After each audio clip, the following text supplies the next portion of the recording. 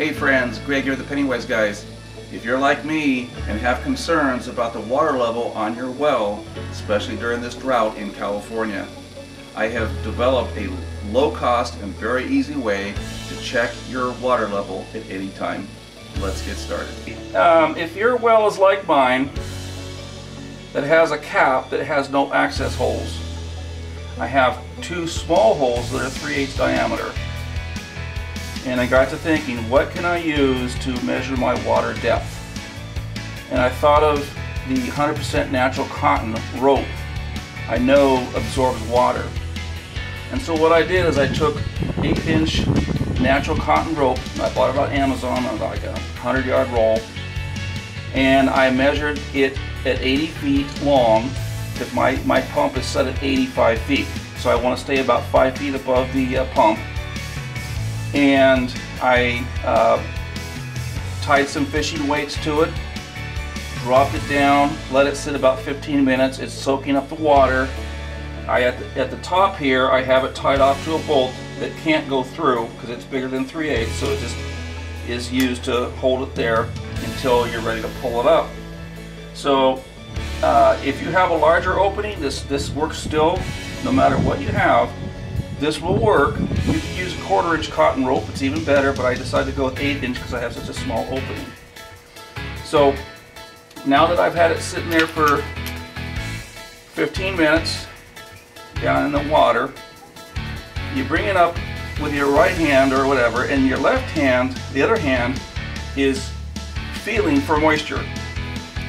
When you get it to the point where it's underwater, it will be cold and wet and, it, and you can actually wring water out of the rope. The larger the rope, the more water it will absorb. But it has to be 100% natural cotton, okay? And I'm, I'm feeling it with my left hand when I get to that point where it's wet.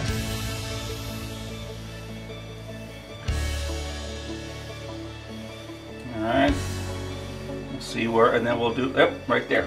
It's, that's where it's wet, right there. So take and clip it off here with a, these are the uh, binder clips, spring clips. You could use a, a, a clothespin, whatever. Okay, mark it off. And now this is really wet and it's, it's you can squeeze it and water comes out of your fingers. So you know you're underwater at that point. Okay, and there are the weights. Okay, uh, on a fishing line, they're the, they're the slider weights. I've got about five or six of them on there that fits through that 3 8 opening and tie it off to the rope.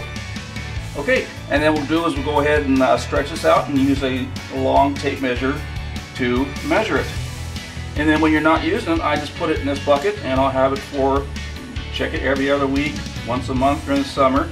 Just drop it in here. It takes about 10 minutes to check your depth of your water. Okay, let's go ahead and get this thing measured. Okay, after laying it out, I discovered that my well's in not so good a shape. The pump is set at 85 feet.